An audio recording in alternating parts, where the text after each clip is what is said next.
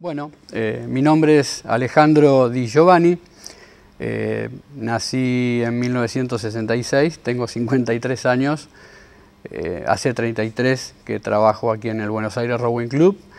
desde nacido habité siempre en el Tigre, en la zona de Rincón de Milver, y obviamente allí conviví con mis padres, italianos, de origen italiano, eh, calabreses que bueno, llegaron a la Argentina promediando la década del 50, se establecieron aquí en el Tigre y bueno, llegado el momento aparecí yo y se estableció un hogar realmente muy lindo para mis recuerdos, eh, un hogar que, en el cual aprendí muchas cosas, sobre todo mucho de la cultura italiana, la cual alterné obviamente con, la nuestra.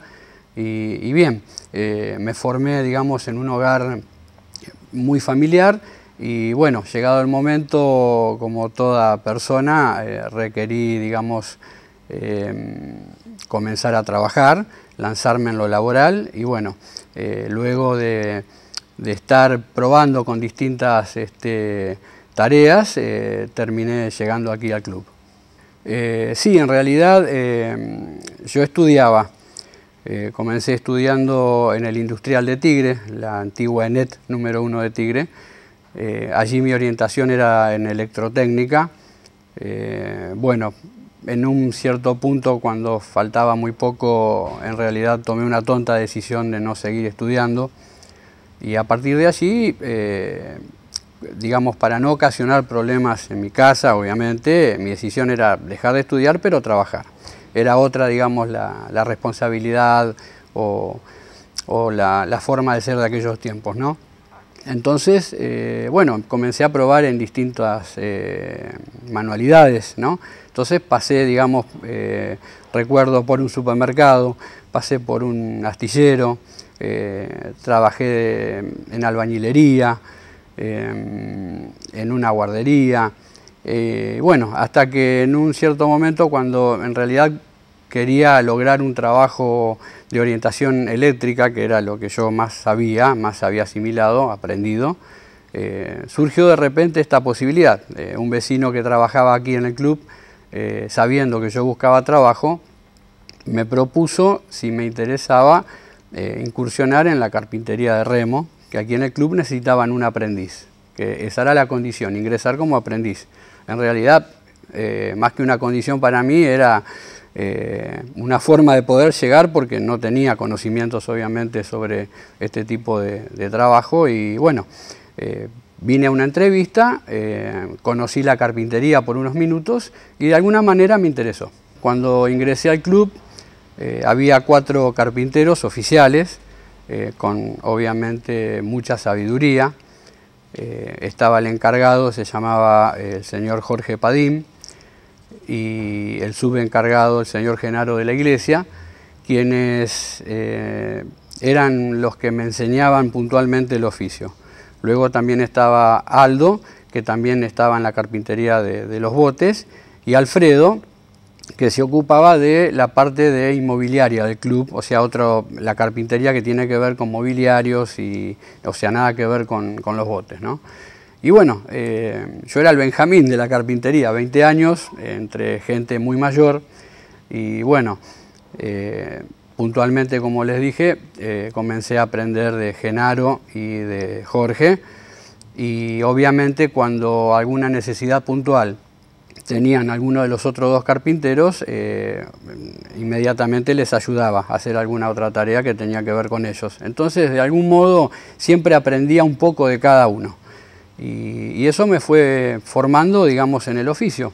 Me, fue, este, me fui eh, aprendiendo eh, distintas tareas dentro de lo que es la carpintería en general y puntualmente la de, la de remo. Esta es una foto eh, también, digamos, de lo que era parte del viejo plantel de carpinteros de, aquí del club. acá se reiteran algunas personas y otras no. está nuevamente el señor de la iglesia, que fue el que me enseñó el oficio. José Haurs. Eh, este señor es Alfredo, el que yo les hablaba que mm, hacía la carpintería este, mobiliaria del club. A Gata se ve un poco Aldo Ricci y Cura Titoli. Eh, este es un muchacho joven que también, digamos, incursionaba en esta carpintería. Trabajó un tiempo, después se fue, no, no lo vi más. Eh, pero es de mi generación, como quien dice, ¿no? Eh, después aquí es otro momento también en la carpintería. Estamos ahí un poco con el torso al desnudo por cuestión de... Era verano, hacía mucho... Aquí se sufre mucho el calor. Y bueno, acá por ejemplo yo estaba construyendo este bote nuevo que se ve en el fondo y este bote lo estaba reparando el señor de la iglesia, que se alcanza a observar la diferencia de madera, ¿no? Este es el, casco viejo que se ve y esto todo lo nuevo que se le está cambiando, que es el fondo del bote, ¿no? Que tiene que ver la quilla completa con las primeras dos o tres rumbos de cada banda, de pro a popa, todo completo. O sea, en esos niveles se trabajaba antes en cuanto a las reparaciones acá arriba, ¿no? Hoy tal vez todo esto un poco también se reduce el volumen de reparación por los costos, ¿no? para optimizar más los materiales, eso también es importante acotarlo. Hoy en día se pelea mucho eh, con el presupuesto, digamos, eh, tanto los materiales en madera para los botes, o sea también la parte metálica en cobre, bronce, se ha vuelto todo muy excesivo en los costos, entonces las reparaciones pasaron a, ser más, eh, más puntuales, más reducidas, para optimizar eh, los gastos, ¿no? para que la, madera que se puede comprar eh, se pueda aprovecharlo en, la mayor cantidad de botes posible. Esa es un poco la, por decir, la política de reparaciones que estamos empleando hoy en día para combatir este, los costos altos y tener uno también la posibilidad de poder seguir trabajando y poder seguir teniendo trabajo, ¿no? O sea, todo pasa un poco por ahí. Y bueno, esta es otra foto, digamos, aquí así fortuita que se le sacó, digamos, a, de la iglesia con House, aquí dentro, en la carpintería. Y este es eh, uno de los botes que construí nuevo, que estaba en el sector de pinturas, este, a punto de ser eh, barnizado. Eh, en esta otra foto tenemos a dos carpinteros, de los cuales les nombré, eh, acá está el señor Aldo, Richie Petitoni, eh, él era uno de los cuatro que yo les mencioné cuando yo ingresé a trabajar aquí, también se jubiló ya hace 10 años más o menos, eh, fue el, encargado anterior a mí, digamos, aquí en, la, en el club, y este es el señor Mareco, muy buen y gran carpintero del club hispano, sé que también estaban los hermanos Orsese, que no, nunca tuve oportunidad, digamos, de tener trato personal, pero también sé que eran buenos carpinteros. Y Mareco, eh, tengo por entendido que ya falleció también, eh, ya no está. Apenas las 7 comenzamos a trabajar, eh, yo de inmediato me acoplaba a Genaro, que era quien, digamos, estaba constantemente con él, y bueno, según la tarea que tenía que hacer aquí en carpintería, porque aquí se suben los botes, para hacerle reparaciones complejas, ¿no? cuando hay que cambiar rumbos eh, o distintas partes del bote que llevan, digamos, trabajo, un poco más de tiempo y son reparaciones más importantes. Entonces, bueno, este señor Genaro tenía un bote en reparación y bueno, yo automáticamente lo ayudaba, él me iba enseñando cómo se hacía en la tarea que puntualmente se hacía en ese día y bueno, iba aprendiendo y en determinado momento eh, me decía, bueno, esto ahora seguilo vos, hacelo vos. Y bueno, entonces eh, esa, modalidad de, aprender me atrapó mucho. Bueno, aquí eh, en realidad hemos construido muy poco, al menos en los años que yo me integré a la carpintería. En determinado momento, allí por la década del 90, solo hicimos botes doble par, que los hemos de algún modo copiado de, otro doble par ya de la línea del club y hemos construido cinco. Eh, lo comenzamos a construir con este señor Genaro y en determinado momento los continué yo de manera, digamos, sola y bueno, se, hicieron cinco botes. Fue la única vez que construimos botes en realidad. Eh, después, bueno, acá en esta foto, si no mal me acuerdo, eh, este fue el primer bote que comencé a reparar solo en aquellos años, aquí tenía veintipico de años, este, y bueno, un poco para darle un poco de, humor a la foto me puse ese gorro que tenía ahí y bueno, y me sacaron la foto. Este, este es uno de los botes que eh, reconstruí a nuevo, que estaba en desuso, es un triple par, es un bote ya poco común verlo navegar en, las aguas que sea de los clubes. Eh, este es un triple par de asiento fijo que el club tenía en desuso y se le ocurrió, digamos, volverlo a, hacerlo navegable y lo tuve que hacer toda, digamos, una serie de reparación tremenda, prácticamente todo nuevo. Y bueno, una vez que estuvo listo, me sacaron la foto el día que iba a ir al agua. Este, este es uno de, los botes doble par que hice nuevo, eh, allí por los años 90. Estaba a punto de, ir al agua también. Acá hay otra foto en la cual, bueno, estoy yo. ¿Ese de cero? Ese de cero. desde, el primer centímetro de madera al último, eh, todo construido por mí. Este, para mí realmente fue una satisfacción muy grande lograr esto porque es prácticamente llegar al punto culmine de, lo que sería el oficio, ¿no? de construir un bote nuevo. También, digamos, cuando pasó X tiempo que uno va entrando en confianza con, los compañeros, este, descubrí, digamos, más allá que tenían cierta rigidez en enseñar, eh, no era fácil el trato. Ellos también me contaban que en su momento, cuando aprendieron el oficio, no fue, digamos, de la manera más este, cordial, sino al contrario, eh, siempre en un clima, digamos, este, un poco difícil, porque los carpinteros anteriores, eh, te hablo ¿no? de muchas décadas atrás, no les simpatizaba mucho enseñar a, otro, entonces alguien tenía que aprender mirando desde lejos, y esa fue la experiencia que me contaban los que después me inculcaron a mí el oficio. Entonces, este, eh, de repente aquí había otro clima. Eh, en algún momento alguno de los mayores se ponía a silbar, o yo los estimulaba silbando y se ponían a cantar a capela un tango. Y de repente cuando uno cantaba, el otro a sus espaldas se ponía a bailar. Y bueno, eran situaciones un poco así graciosas, pero no sé si anécdotas, pero eran momentos lindos que me quedaron en la mente, ¿no? Bueno, esta es otra foto que tiene que ver con aquellas cenas eh, acá también está el carpintero Frías, que también estaba en el club, eh, perdón, en el club Canotieri con, el señor Bichola. Eh, está el señor José Elena, por allí sentado, se alcanza a ver, que actualmente está trabajando aquí después de jubilado. y el señor Enzo Bergero, también un gran carpintero que, bueno, no he tenido, digamos, la oportunidad de tener con él mucho contacto, pero sé, digamos, que es una gran persona y un gran carpintero. Después nosotros particularmente este, nos gustaba de vez en cuando tener algún desliz. Eh, yo me, digamos, un poco me destacaba porque, bueno, en aquellos tiempos tocaba el acordeón un poco. Entonces por ahí nos íbamos a algún campo a pasar el día, acompañados de nuestras esposas, que acá no, no están en la foto. Pero bueno, acá estamos con eh, el carpintero House, eh, Genaro de la Iglesia y Aldo Ricci, que eran, digamos, los los tres, éramos los cuatro carpinteros de aquí, compañeros, en compañía, digamos, de los dueños del campo y, un amigo que estuvo allí con nosotros. O sea, eh, compartíamos también, digamos, esa, esas cosas lindas, ¿no? De, más allá de la, de la tarea laboral. Bueno, en esta foto que tengo aquí, eh, me recuerda eh, una particularidad que mm, no relaté en su momento cuando hablábamos de anécdotas o ese tipo de cosas. nosotros, los carpinteros, eh, no todos, había como quien dice un pequeño círculo entre todos los que había que tenían la, habitualidad de despedir el año, reunirse una vez al año para despedir el año.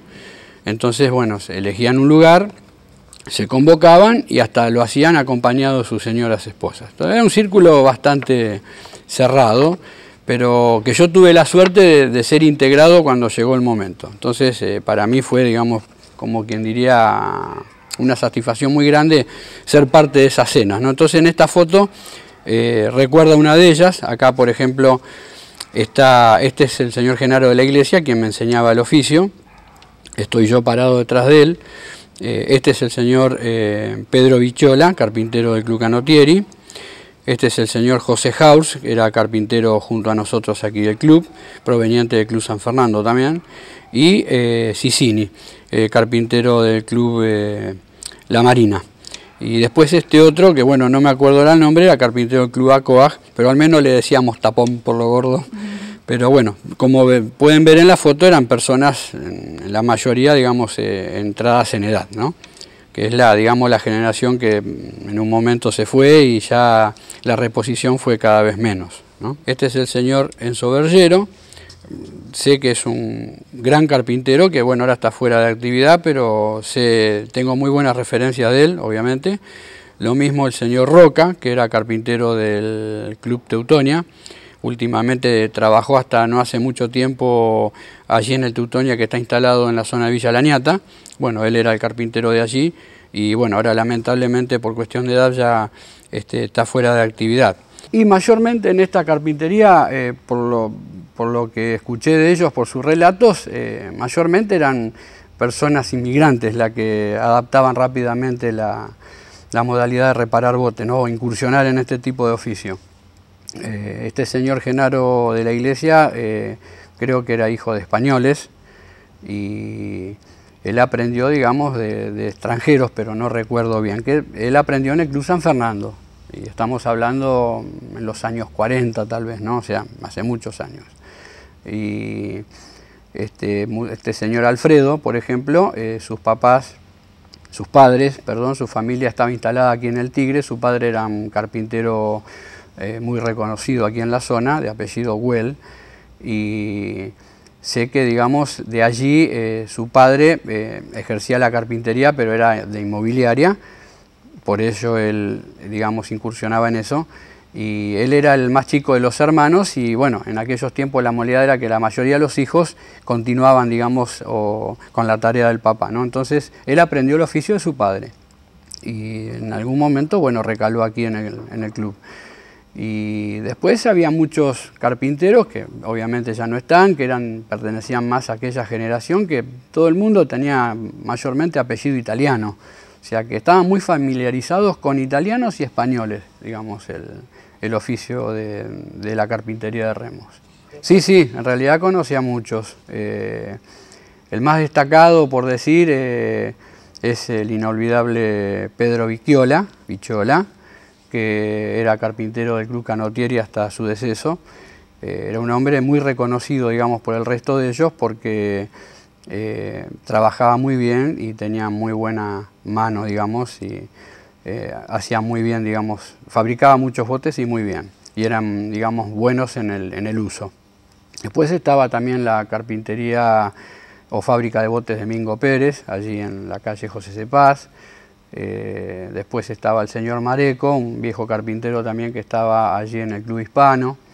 Eh, después había otro en el club Acoas, que bueno, ahora no, recuerdo el nombre. Eh, o sea, había muchos carpinteros de, esa generación que comenzó a extinguirse, obviamente por razones naturales, y después la reposición no fue, digamos, muy, muy fructífera. Entonces hoy en día llegamos a que quedan muy poquitos carpinteros para, digamos, continuar con este, con este oficio que de repente es muy artesanal. ¿no? Bueno, hablando del ensamblado de bote, del bote, digamos, de piezas que hacen al bote, perdón, eh, están hechas, digamos, con... Eh, son distintas piezas de madera que están encoladas unas con otras, por ejemplo, como también atornilladas unas con otras, o también, digamos, en la zona del casco, las tablas de rumbos están unidas unas con otras eh, mediante clavos de cobre que van remachados. O sea, toda una tarea que se hace a mano, es muy artesanal, eh, con herramientas de mano y bueno, que obviamente requiere de paciencia y tiempo para hacerlo. Bueno, acá tenemos un bote de paseo eh, en su tamaño y capacidades, un doble par con timonel. Eh, se le está haciendo una reparación, digamos, en la zona de la proa. lo tenemos en posición, digamos, normalmente llamada boca abajo, casco abajo. Eh, esto se puede observar entonces lo que es la parte exterior del casco. Puntualmente aquí en la prueba donde yo estoy, eh, el bote se compone con la proa, eh, con la pieza llamada roda. Proa, digamos, es toda esta zona, pero la pieza específica que hace la curva y el extremo del bote es la roda, que en determinado lugar tiene continuidad con lo que es la quilla del bote que llega al, otro extremo donde sería la popa del bote que veremos después. ¿no? Luego estos son los, es el casco, son los rumbos o tablas de rumbo según el carpintero como la llama, eh, que hacen, digamos, al, cuerpo del bote y que culminan con una tabla de borda. Es una tabla de borda porque, porque es la finalización del casco y a la vez es una tabla de mayor espesor con respecto a, los rumbos, digamos, para darle la fortaleza a la terminación del casco, ¿no? porque tiene que soportar, digamos, también un poco el trajín del remo. Eh, y después por dentro, que aquí no podemos ver, están eh, las llamadas curvas o cuadernas, que son las que sostienen eh, el casco y a la vez lo entrelazan con la quilla, que sería, por decir, la columna vertebral del bote. Y en definitiva es un conjunto de piezas ensambladas de madera que hacen al formato del bote. Bueno, este es otro bote que se está reparando aquí en la carpintería, en la zona de popa puntualmente, donde ha sufrido un deterioro muy importante y entonces se está trabajando en el reemplazo de lo que hablábamos recién, el codastre, que algo queda de él todavía, que es esto, esta pieza. Este es el codastre que hace, digamos, la continuidad de la quilla y el espejo de popa, que es el final, digamos, que llega hasta la parte alta del casco, donde concluye también la tabla de borda. Estas son las piezas a reemplazar y luego obviamente se deben reemplazar la terminación de cada rumbo porque cada tabla de rumbo digamos también está deteriorada en el final de su tramo en la zona de la popa. Bueno, ahora estamos en el otro extremo del bote que llamamos la popa. Eh, venimos desde proa, digamos, con el casco compuesto por las tablas rumbos que hablamos, la borda, la quilla, y llegamos hasta aquí en el final del bote llamado popa, eh, donde las piezas que le dan la terminación, eh, esta es una que se llama el codastre, que es la vuelta que hace la quilla hacia la zona alta del casco, y aquí tiene el espejo de popa, se le llama, digamos que es la parte que es donde termina eh, el casco.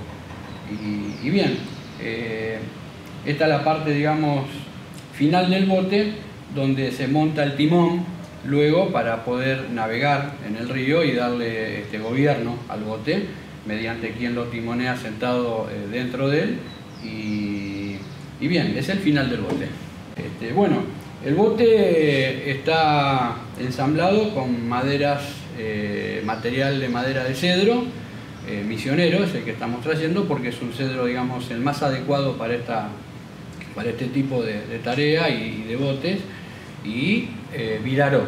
El viraró es una madera semidura, eh, muy trabajable, digamos que tiene la responsabilidad de ser, eh, de ser, de ser las partes del bote que requieren eh, ser el sostén del bote, ¿no? las partes más fuertes, que requieren ser las más fuertes. Después el casco, que es la parte más liviana y lo que más abunda es, en cedro, con algunos este, de los accesorios que van dentro, ¿no? que son los pisos sobre los cuales quienes navegan deben pisar, obviamente, y, las cuadernas de las que hablaba hoy eh, también son de Viraró porque son parte del sostén del bote, o sea, le dan la rigidez al bote y el cuerpo.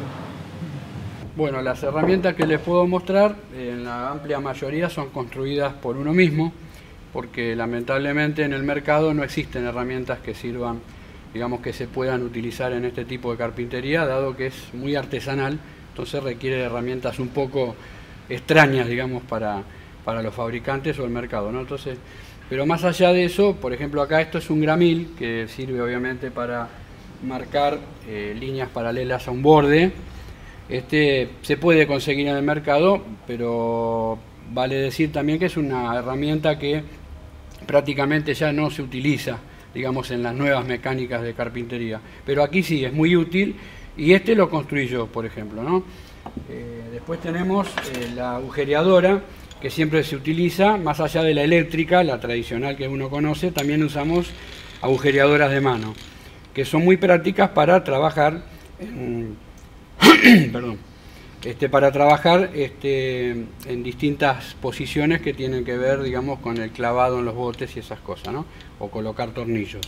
Entonces, bueno, es una maquinita muy práctica y hay de diferentes tamaños. Estas se pueden conseguir, estas se consiguen pero no son, salvo este tipo de carpintería, no creo que se utilice en otra que fuera de los clubes. También lo mismo sería el serruchito este de costilla o de mano, que es muy chiquito, es para hacer cortes este, más precisos y pequeños que son típicos en este tipo de botes. Entonces, bueno, también repito lo mismo, es una herramienta que se puede conseguir, pero de repente no creo que se utilice mucho más que acá eh, en otro tipo de carpintería. Eh, después tenemos el uso de los formones. Eh, nosotros normalmente aprovechamos algunas, algunos metales que son de las máquinas, que ya quedan en desuso y los aprovechamos para fabricar formones, que los hacemos a nuestro gusto, a nuestro largo que nos es conveniente para realizar los trabajos. Entonces, bueno, estos son dos formones construidos así un poco sin mucha estética, pero sí, digamos, de alta utilidad para lo que uno va a trabajar. ¿no? Y para que hagan este, una comparación, este es un formón que se compra en el mercado eh, y este es un hecho, digamos, de manera eh, personal. Así que son, digamos, las dos caras contrapuestas, ¿no? También tenemos, eh, bueno, el martillo es de uso tradicional en cualquier tipo de trabajo, pero los nuestros de repente requieren ser de ciertos tamaños muy convenientes para el remachado de, piezas en el bote, ¿no? Después tenemos la zona de cepillos para cepillar las maderas, los rumbos, las tablas o alguna que otra pieza. Este es un cepillo largo llamado, o también conocido como garlopín, y bueno, tiene la particularidad que tiene este mango para poder eh, tomarlo con mayor comodidad y nos permite eh, cantear madera, por ejemplo, eh, en tramos largos y que quede, digamos, bien derechito el borde, o sea, que no quede con montañitas o golpes. ¿No? Bueno, este también es un garlopín fabricado por, por mí, digamos. Se puede conseguir, calculo, pero este, uno a veces lo hace, lo fabrica a su medida de acuerdo a la tarea que suele hacer. Eh, después tenemos el aguantador, esta es una pieza de metal que normalmente la encontramos en algún taller mecánico, son ejes de, los autos o alguna pieza parecida, que nosotros la, trabajamos un poquito y le damos la forma que nos es eh, conveniente también para usarla en los botes y puntualmente se utiliza para remachar eh, los clavos que eh, unen los rumbos, los clavos del casco, que van con una arandelita cónica también de cobre y bueno, se remacha, digamos, para que abroche bien el juntado de una tabla con otra, de un rumbo con el otro. Después tenemos este cepillito que creo que es, un poco difícil conseguirlo hoy en día, tal vez, bueno, el formato si uno lo consigue no es tan igual a este, este es un cepillito muy viejo. Eh, es un recuerdo del encargado Jorge Padín que me lo regaló al momento de retirarse de la carpintería, por eso para mí tiene un valor muy especial y es muy importante para el ajustado de eh, los rumbos, las tablas, cuando uno la coloca en el bote. O sea, tiene una función muy importante y hay que cuidarlo mucho porque, digamos, este, debe durar mientras uno esté en actividad, principalmente porque eh, es una herramienta poco conseguible ¿no? y muy importante para la tarea que uno hace.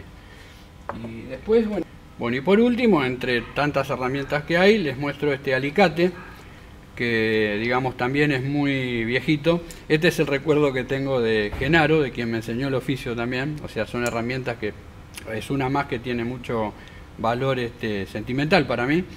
Y bueno, tiene una forma también un poco rara de un alicate normalmente que todo el mundo conoce, porque también sirve, digamos, para eh, usos puntuales que tienen que ver en el, bote.